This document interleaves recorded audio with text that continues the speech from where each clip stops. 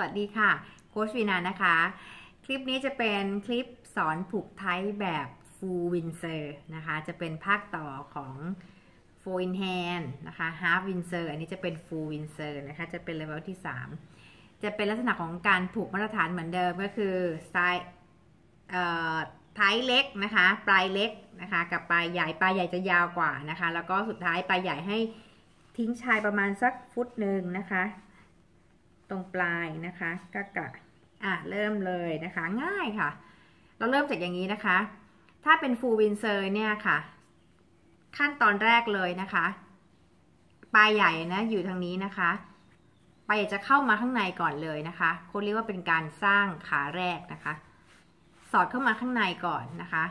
มันก็จะเป็นลักษณะแบบนี้นะคะใกล้ๆเป็นแบบนี้นะคะ เสร็จปึ้งปุ๊บวนเข้ามา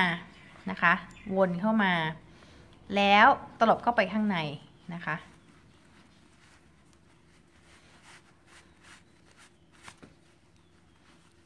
มันจะเป็นลักษณะแบบนี้เห็นใกล้ๆไหมคะ เป็นแบบนี้ แล้วก็ตลบเข้ามานะคะ ปะเข้าไป ปึ้งปึ้งนะคะ เอาเข้ากลับกลับเข้าไปข้างในนะคะ เสร็จแล้ว เราก็จะใส่พ็อกเก็ตละ เก็บเข้าในพ็อกเก็ต เวลาสั้นแป๊บเดียวก็ผูกได้แล้วนะคะ แล้วก็ดึงตัวยาว ให้แน่นนะคะ แล้วก็ปรับสายตัวเล็ก แบบนี้มันจะเป็นหนอดลักษณะแบบนี้เห็นไหมคะหนอดที่เป็นฟูวินเซอร์นี่จะค่อนข้างแน่นนะคะ มันจะค่อนข้างแน่นถ้าเกิดจับปึ้งปุ๊บเนี่ยค่ะ มันจะเห็นความต่างระหว่าง half windsor กับ full windsor แล้วก็ full in hand อย่างชัดเจนนะคะดอกมันจะเป็นลักษณะแบบนี้เนาะงั้นเวลาเราผูกไทตรงปลายของไทนะคะ ให้อยู่ตรงกึ่งกลางของเข็มขัดในแง่ในแง่ของถ้าเวลาผู้ชายเนาะเวลาใส่เข็มขัดใช่ไหมคะก็จะเป็นลักษณะแบบนี้แค่นี้เองจบแล้วค่ะ ง่ายไหมคะ ใช้เวลากรุบกริบสั้นมากสำหรับตัวนี้นะคะ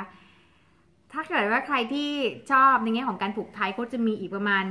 3,800 แบบนะคะ ค่อยๆ ตามกันไปเรื่อยๆนะคะ ก็ตามกันในช่องของ YouTube Channel นี้นะคะ Vina Image Coach นะคะ เขียนคอมเมนต์มาได้นะ ใครที่แบบว่าเอออยากจะให้ผูกหนอดนู้นหนอดนี้แล้วก็จะบอกว่าตั้งแต่ดูมาคนเป็นคนแรกในเมืองไทย